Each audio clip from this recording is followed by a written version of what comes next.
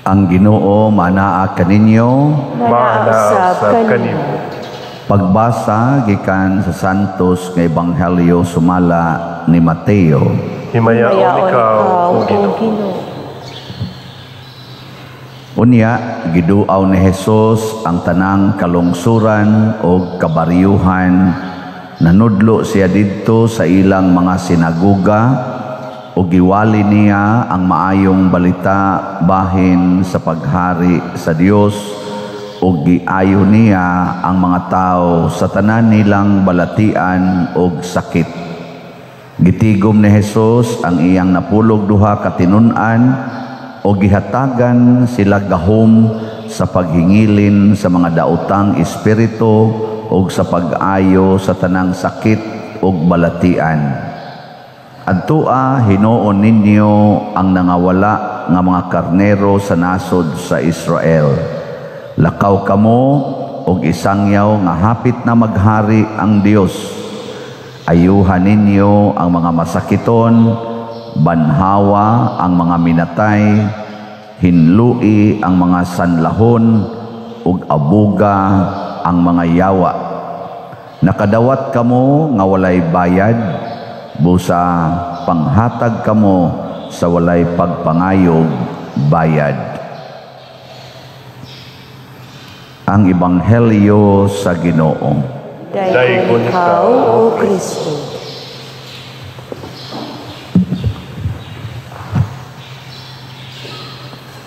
ang atong tubag sa Salmo Responsorio nagkanayon nga bulahan ang tanan nga nangandoy sa pag-abot sa Ginoo.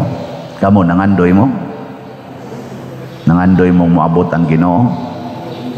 Ah, maayo. Nganong nganong bulahan man ang tanan nga mangandoy sa pag-abot sa Ginoo? Ano man? Matanawa, wa na mo tubag. Okay, nangandoy. Ya, nganong bulahan man? Pag nituo mo nga nang, ang nangandoy bulahan, nganong bulahan man? Oh, tungod kay ang nangandoy sudlan sa Ginoo. Basta mangandoy gani ka Ginoo mo sud siya nimo. Kana bang desire, kana bang gitawag nato og mindset. Mao bitaw na nga niingon si kaning San Pablo sila si hasta si Jesus niingon siya set your minds on heavenly things not earthly things. Kay kamo mga anak naman mo sa Ginoo ipunting ang inyong hunahuna sa mga butang nga langit nun. Dili diri. Kay nga naman kanang imong gihunahuna mao nay musod nimo ang imo bang gihunahuna panalitan maghunahuna ako sa madre. Musod na nga rin. Oh. Nindot man ang hunahunaon ang madre kay balaan magnaong. Ang kuya nga akong hunahunaon kanang kasigig tiktok tiktok diha nga mga batanon. Nga hapit wa nay gisulob ya mo na akong hunahunaon. Musod sa na dire. Ya kun unsay musod nato mausad na ang mudiktar sa atong mga buhat ug mga planos kinabuhi. Bitaw. Anawa o ang nisod ni moron gugmas kwarta. Ang imo sang mga buhat pangwarta. Di ba? Unsa mo rin nisod ninyo? Ginoo o yawa?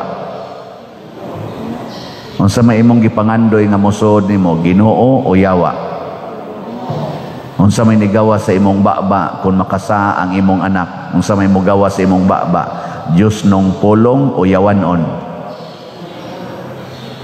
kung mga saba ka kinsa mo ng pulong? Yawa o ginoo? Oh ingon mo inyong gipasod ang ginoo. Yang ano ang mugawa sa imong baba?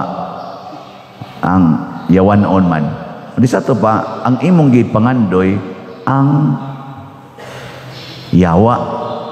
Nya unsa man unsaon man pagpangandoy ang yawa kana bang maningkamot ta pagtagbaw sa atong lawas? Mangandoy gani ka pagtagbaw sa imong lawas yawa gina. Bisag unsa pa na ka gitawag nato bag wholesome. Kana bang tawgo nato nga ah, necessary? Ang litan di jud ka gustong masakit. Nung di jud ka gustong masakit ba? Maayo na o dili maayo eh. Sige kag exercise ang imong pagkaon healthy food gyud nya sige jud kag monitor sa imong BP sa imong sugar sa imong cholesterol. Mo na magpa-check up gyud kag regular gyud imong check up sa doktor. Kay hadlok gyud kang masakit. Ana okay mo na siya pero sige kag panglibak sige kag paningil anang utang sige kag pangaway sa imong ugangan sige kag pangaway sa imong bana gibuwagan na gani nimong imong bana nya naglibin na ka nya ang imo sang kalibin particular sa kaayo og healthy health sa body mo na magdungan mong adtos gym magbike mo nya iguli tinukhangay dayon mo bisag way kasal kay naglibin. Unsa man na Diyos nun o yawan on Okay ba ang day mo? Onya, wa mo ana, una-una. Sige, testingi lang ang inyong reaksyon. Unahon ta mong mga asawa. Kung pananglitan ang imong bana mga bit, nya muli sa inyo, mamunog pagyud nimo, kuhaon pag yung imong gamayng kinitaan. Ang sa imong buhaton, buwagan o pakamatian. Sige, so ay kuno kuna huna huna huna lang kay ibawa man ko nga murag wa man na mahitabo ninyo kay mga buutan man mo kay mga naong. Maghuna-huna di madaw di madaan yawa ang nagpuyo diha nimo. Wa ka nangandoy sa pag-abot sa Ginoo. Kinsa man ang sudlan o Ginoo kanang nangandoy sa kaluwasan sa iyang kalag. Wa magpalandong kung ang lawas niya masakitan ba, mamatay ba, ang importante nga naay kaluwasan ang kalag. Mo na hinungdan nga nung ga celebrate aning Advent, pagpahinomdom ni nato nga ang kalag mo itong luwason. Mo na diri sa atong unang pagbasa, niingon diri Nag-ingon ang Ginoo ang balaang Dios sa Israel. Matuod gayud kini o mga tao nga nagpuyo sa Jerusalem dili na gayud kamo maghilak. Ayaw duha-duhai nga kaluy-an kamo sa Ginoo inig sangpit ninyo kaniya inig kabati niya kaninyo tubagon kamo niya bisag ang Ginoo naghatag kaninyo sa pan anak sa kaguol ug sa tubig ug sa kasakit apan dili na magtago pag-usab. Niya ang isulti kunos Ginoo nato di ara ang dalan subaya kini. Bisan pa kuno bag kita magkasimang-simang mayon di ara ang dalan subaya kini. Unya unsa man nga dalan ang ipasubay sa Ginoo? Ang dalan ni Kristo. Ingos Kristo I am the way Nya unsa may giingon ni Kristo pag ingon niyang I am the way. Ingon din siya kalimti ang imong kaugalingon. Kinsa tong gustong mosunod kanako? Kalimti ang imong kaugalingon, pasana ang imong cross ug sunod kanako. Oh, mao ni ang dalan nga ihonghong sa Ginoo. Yang mosunod tani, luwas imong kalag. Kalag ba luwas gyud? Nga og maluwas imong kalag unsa may mga timaan ngang imong kalag luwas na. Ah, di as ebanghelyo ay ingos Kristo ayuhan ninyo ang mga masakiton o maayo imong sakit. Banhawa ang mga minatay. O in kaso lag di maayo ang sakit niya, mamatay gyud ka, mabanhaw rasad ka. Hinlui ang mga sanlahon, o, kanang mga makalilisa nga mga sakit. Ug abuga ang mga yawa. Wa na kay yawa, wa na kay sanla, wa na kay sakit, niyag mamatay ka, mabanhaw pagyug ka, mao ni timaan ang Ginoo nagpuyo na nato makabaton tag gahom. Gahom ba? Niya ka mo na amuroy gahom. Ilingi ana imong tupad. Ano imong tupad balingi ah. Ing na naapakayawa diha napakayawa. Kay na kay gahom sa ato pa ang yawa wa na diha. Ika na be. Unsa may timaan nga naa pa kay yawa, naa pa kay sala. Kana kinsa dinhi ang way sala. Tas kamo. Ako lang sang iyosos. O pulos tagiyawaan. Nya unsa man na nato? Papahawaan na. Unsa man pagpapahawa? Deny yourself. Take up your cross and follow Jesus. Siya ang dalan. Mao ko na sigig hunghong sa espiritu nato ug sa atong anghel nga magbalantay. Sigihan jud kuno tag hunghong anak kada adlaw di ara ang dalan.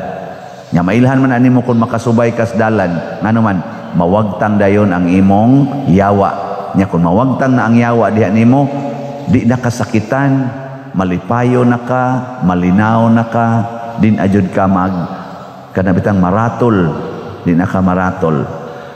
Nya nindot na kaayong i-share ang imong kinabuhi ngadto sa uban.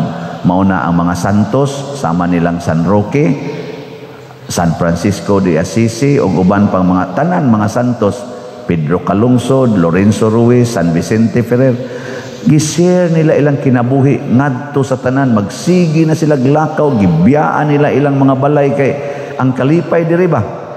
Mutukmod gina nato sa pag paambit ngadto sa uban. Di gid na mutukmod nimo ang kalipay nga Dios non sa pagmukmok diha sa imong balay. Kanabang anhar jud ka sa imong balay? Kanang di ka mo apil sa katilingban. Mo share jud ka mo ambit mo unong sa katilingban mo na ka mga tao bitaw nga mo simba. Nga ini kung magsimba adto ra ilang balay diretso. Di gyud managadtagad sa silingan. Mga buango na.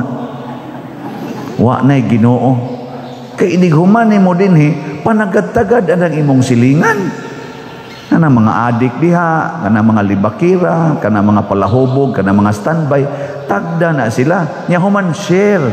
Pangutan-on nimo unsa may inyo? Unsa may akong ika-share o kana mga standby may mga pwedeng palit ka mga tulo kilong baboy day amo isugba. Ay gutom kay da. Nya lunga magdasa ka dihay bugas maglungag ka bilay lungag dire.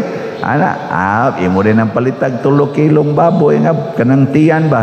May man kanang kanang kuanon sugba. Nya imo dayo ng tagaan og mais. Oy ma- mangawat pa nagdahon saging.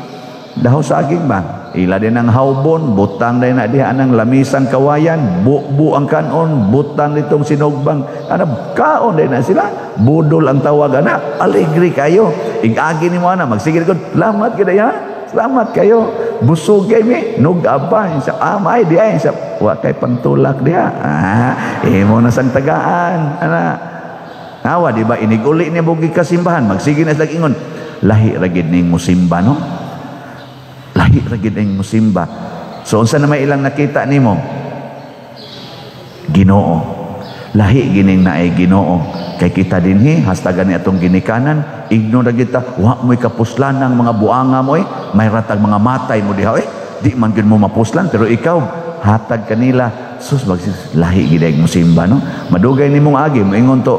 Day asa ka padong adto ko simbahan sa pwede mi mo kuyog. Ah, oh kuyog na nangan eh.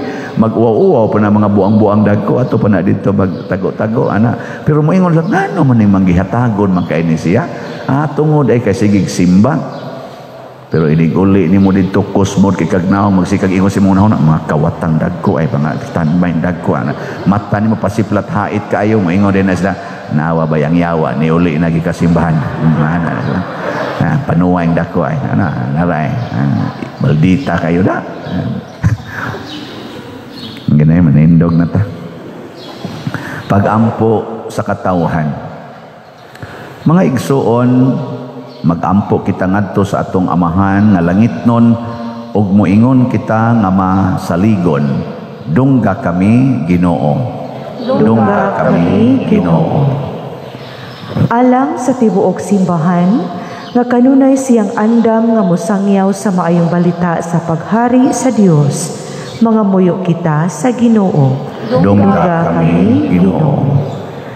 Alang sa namunuan sa atong nasud, nga mudawat unta sila sa mga pagtulunan nga gitudlo ni Hesu Kristo mga muyo kita sa Ginoo dungga kami Ginoo alang ni adtong nagantos sa nagkanain-laing matang sa sakit nga makabato na sila og hingpit nga kaayuhan ug kahupayan diha ni Kristo mga muyo kita sa Ginoo. Dungga kami Ginoo. Alang sa mga nag-alagad sa mga masakiton o ubang hutong sa katilingban nga makabaton kanunay o grasya sa paglahutay o nga mapanalipdan sila mga muyo kita sa Ginoo. Dungga kami, Ginoo. alang sa pagsaulog sa 500 years of Christianity nga unta magmalampuson ang tanan nga kalihukan ilabi na sa mga parokya ug atong mapalawman ang atong pagtuog paglaong isip mga binunyagan mga muyo kita sa Ginoo. Dungga kami Ginoo. Alang sa sulugoon sa Dios Teofilo Kamumot Obispo nga mabayaw na sa kadunggaran sa altar mga muyo kita sa Ginoo. Dungga kami Ginoo. Alang sa mga proyekto dinhi sa atong simbahan nga pinaagi sa pangama o pagiya ni San Vicente Ferrer magmalampuson ug mahuman unta sumala sa atong mga giplano o gipangandoy mga muyo kita sa Ginoo. Dungga kami Ginoo alang sa tanang mga benefactors ug donors sa atong simbahan nga mihatag og financial ug lain-laing hinabang ug alang sa mga nagtrabaho dinhi sa atong mga proyekto nga tagan unta sila sa Ginoo ug daghan pang mga grasya silang kinabuhi malikay sila sa mga kadautan ug mulampos unta ang tanan nilang mga paningkamot. Mga muyo kita sa Ginoo. Dungga kami Ginoo alang sa atong mga kaigsuonan nga mihalina nga mabanhaw na unta sila sumala sa gisulti ni Hesus sa ebanghelyo. Mga muyo kita sa Ginoo. Dungga kami Ginoo. O Ginoo, patalinghogi ang among mga pag-ampo nga gituboy nganha kanimo uban sa gugma ug pagtuo pinaagi ni Kristo nga among Ginoo. Amen